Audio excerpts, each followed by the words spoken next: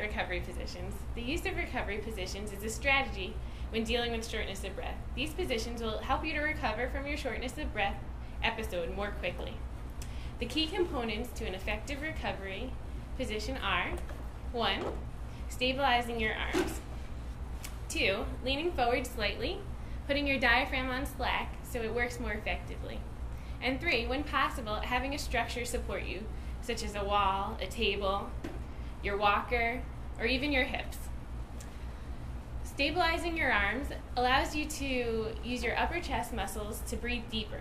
Once you've recovered, it's best to focus again on your diaphragmatic breathing. So now I'll show you a few different recovery positions. First one, finding a nice table, stabilizing your arm, and leaning slightly forward. In this position, you're going to use also your pursed lip breathing. In through the nose and out through pursed lips.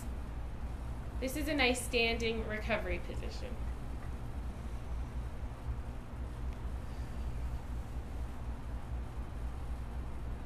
Another position is if you're leaning up against a wall and you don't have a structure besides a wall around you, you can lean with your back firmly against the wall, with your hands on your hips, and the chest resting up against the wall.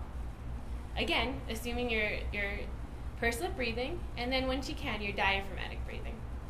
Okay, here's an example of another recovery position you can use in sitting. So if you're in an armchair, you can have your arms resting on the chair leaning slightly forward, putting your diaphragm on slack, and stabilizing the arms. You can initiate your pursed lip breathing.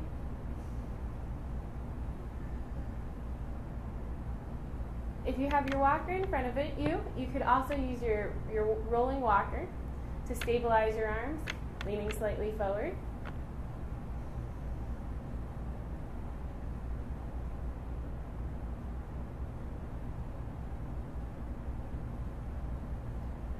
And lastly, in the sitting position, you could also, if you're not in an armchair, you can lean slightly forward, stabilizing your arms on your legs.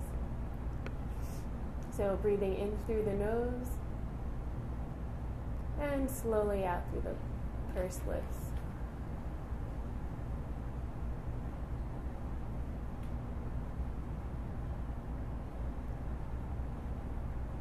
And again, once you're recovered, you can resume that diaphragmatic breathing.